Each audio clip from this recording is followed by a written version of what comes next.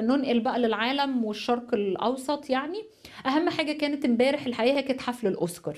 يعني إحنا عندنا طبعا أمور سياسية وكل حاجة بس موضوع حفل توزيع جوائز الأوسكار ده بالنسبة طبعا يعني ال كتير جدا بيكونوا متابعينه ناس كتير لأن بالنسبة للسينما الأمريكية مين الفيلم اللي فاز إيه الموضوع هو الفيلم اللي فاز The Shape of Water ده فيلم يعني والمخرج بتاعه برضو أخد جائزة الأوسكار. وطبعا يعني كان في أفلام كرتون وكان في حاجات كتيرة قوي. يعني نشوف جزء من التقرير ده يديكوا على فكرة دي مهمة جدا. السينما برضو بتدي انطباع للدنيا والمشاكل اللي بتستعرضها السينما واللي بيحصل في مجتمعنا سواء تغييرات سياسية سواء أي حاجة بتطلع في السينما على فكرة. فنشوف مع حضراتكم هذا جزء من هذا التقرير مش كله معلش. على مسرح دولبي في عاصمة السينما العالمية هوليوود وهو المكان نفسه الذي يجري فيه الحفل منذ عام 2002 The Shape of Water. وقد حصد فيلم The Shape of Water أربع جوائز من أصل 13 ترشيحا بينها جائزة أفضل فيلم وجائزة أفضل مخرج للمخضرم جيليرمو ديل تورو كذلك أفضل موسيقى وأفضل تصميم إنتاجي النجم البريطاني جاري أولدمان اعتلى منصة التتويج ليتسلم جائزة أفضل ممثل لأول مرة في حياته الفنية عن دوره في فيلم The Darkest Hour الذي يؤرخ لتولي رئيس الوزراء البريطاني الأسبق وينستون تشرشل منصبه خلال مرحلة فاصلة في تاريخ المملكة المتحدة التي واجهت تهديدات النازيين في الحرب العالمية الثانية آنذاك. أما جائزة أفضل ممثلة فقد حصلت عليها فرانسيس ماكدورماند عن دورها في فيلم 3 Billboards Outside Ebbing, Missouri الفيلم حصد أيضا جائزة أفضل ممثل مساعد التي كانت من نصيب سام روكويل فيما فازت الممثلة أليسون جاني بجائزة أوسكار أفضل ممثلة مساعدة عن دورها في فيلم I, Tonya الذي تلعب فيه دور والدة المتزلجة الأولمبية تونيا هاردينغ Jordan Peele, get out. أما مفاجأة الأوسكار لهذا العام فكانت فوز جوردن بيل كاتب ومخرج فيلم جيت أوت بجائزة أفضل سيناريو أصلي وهو أول أمريكي من أصل إفريقي يرشح لجائزة أفضل صورة وأفضل مخرج وأفضل قصة سينمائية في العام نفسه. أما فيلم كوكو فقد فاز بجائزة أوسكار أفضل فيلم رسوم متحركة وهو يروي قصة طفل يعشق الموسيقى بينما تعارض عائلته ذلك ليجد نفسه يحقق حلمه في أرض الموتى خلال الاحتفال المكسيكي بيوم الموتى. ورغم مشاركة فيلمين ناطقين بالعربية في حفل هذه السنة هما آخر رجال في حلب لمخرجه كان في فيلمين فيلم من سوريا وفيلم من لبنان لكن آه الحقيقة يعني ما يعني كان في ترشيحين عن فئة الأفلام الأجنبية وفئة الأفلام الوث... الوثائقية. لم آه ينل الفيلم اللي اثار قبل أشهر جدل في لبنان أي جايزة اللي هو الإنسالت. والفيلم السوري كمان آخر رجال في حلب ما كانش ما كانش ليهم حظ. البعض توقف عند الأغنية اللي كانت عرضت في حفل الأوسكار إن هي الحقيقة كانت أغنية لممثلة كانت من ومغنية طبعا من الفيلم الراقص اللي هو كان The Greatest Showman. واللي لفت النظر إنه وسط المجموعات اسمي هي الأغنية إن أنا كده ومعنيها كده جاية من الفيلم برضو بتاع الجريت شومان اللي كان مجمع نوعية نوعية مختلفة من البشر اللي كانوا مرفوضين من المجتمع. الحقيقة فمن ضمن تم رصد الحقيقة وأنا يعني بشيد بالأستاذ أمير فهمي هو رصد لنا الحتة دي وبعت لي وعمل حط الصورة إن كان في بنت محجبة من الراقصين في عرض الأغنية دي. ودي برضو حاجة جميلة ويمكن عشان معنى الأغنية إن It's me هي المغنية اللي على الجنب دي إن الأغنية يعني في إطار راقص وكانت يعني عن التناغم والاختلاف في المجتمع. يعني فاحتمال برضو عشان كده كان في هذه الفتاة وهو بيقول هو إحنا بنحيي الفتاة دي إن هي شاركت بالحجاب. في هذا العرض. محمد صلاح أفضل لاعب في الدوري الإنجليزي لشهر فبراير بنقول له ألف مبروك وطبعا أمور كتيرة بالنسبة لمحمد صلاح. الطقس يا جماعة مازال صعب جدا ومسمينه وحش الشرق اللي هي موجة التلوج اللي هي غطت أماكن كتيرة الثلوج اللي غطت أماكن كتيرة في أوروبا. ومنها الحقيقة يمكن في بعض المناطق اللي كان في وفيات كتيرة جدا جدا. مسمينه الوحش الوحش القادم من الشرق كونها قادمة من سيبيريا.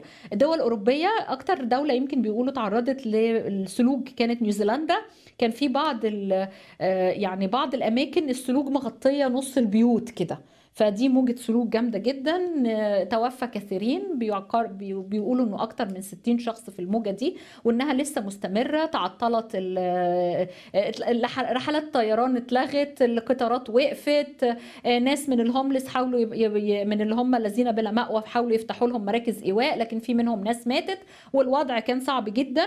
ومع عفوا مش نيوزيلندا أيرلندا. أيرلندا معانا الفيديو اللي هو رقم 107 ده زميلنا لو جبته بسرعة طبعا إحنا عندنا في بروكلين وفي أمريكا بصوا الفيديو بتاع إيرلندا ال- التلج طالع مغطي بصوا قد إيه بصوا قد إيه من من الباب المحل اتقفل وبيوت أبوابها اتقفلت. طبعا الناس في البيوت طبعا في الوقت ده كله الدنيا صعبة جدا جدا. آه، على الجانب الآخر بقى رياح وفيضانات في أماكن من آه، أمريكا. على سبيل المثال بروكلين الدنيا اتبهدلت في الرياح والشجر وقع على البيوت وقع على العربيات وبرضو وضع صعب جدا. ومسمينها حتى ال bomb cyclone اللي هي آم، عاصفة القنبلة أو عاصفة قنبلة في بعض الأماكن وراحت لفرجينيا وبعض الأماكن التانية من آه، آه، من الولايات المتحدة الأمريكية. آه، عندنا برضو كان قلنا لكم على موضوع بوركينا فاسو الحلقة اللي فاتت ما قلناش تفاصيل أكتر ولكن القاعدة أعلنت مسؤوليتها عنه وده كان حصل في آه، مالي. آه، كان هجوم هجومين كانوا على آه، عملية عسكرية على آه، آه، مجموعة عسكرية وكانت على السفارة الفرنسية. هجوم آه، مسلح هجومين على رسالة رئاسة أركان القوات المسلحة وعلى السفارة الفرنسية. قتل ثمانية من قوات الأمن البوركينية في وجدودو وأصيب 12 بجروح آه، بالغة. وطبعا القاعدة أعلنت مسؤوليتها. القاعدة على فكرة بتنشط بشكل كبير جدا اليومين دول يعني. مش بنلاقي كتير داعش بنلاقي كتير القاعدة. في هجوم برضو كان حصل على مسجد في ألمانيا ولسه لغاية دلوقتي ما قالوش آه، مين اللي هجم على المسجد. آه، متشددون تابعون للقاعدة في مالي بينشرون فيديو رهينة فرنسية. واضح طبعا بعد الموضوع بتاع آه، وجدوده ده والهجوم ده أخدوا حد رهينة.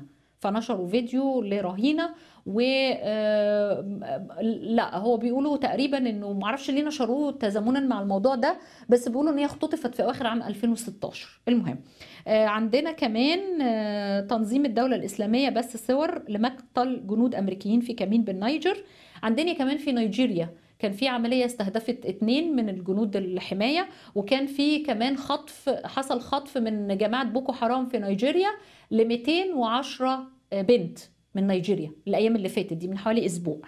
آه، أفغانستان آه، بتعلن اعتقال قائد العمليات ومسؤول التجنيد لتنظيم الدولة الإسلامية في كابول. ده بالنسبة لأفغانستان.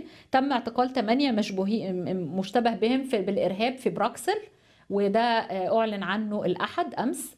كمان تم اعتقال أربعة عراقيين النهاردة بتهمة التخطيط لمهاجمة السفارة الأمريكية في أنقرة. وكانت على فكرة انتشر خبر بأنه كان في تهديد للسفارة الأمريكية وأغلقت أبوابها.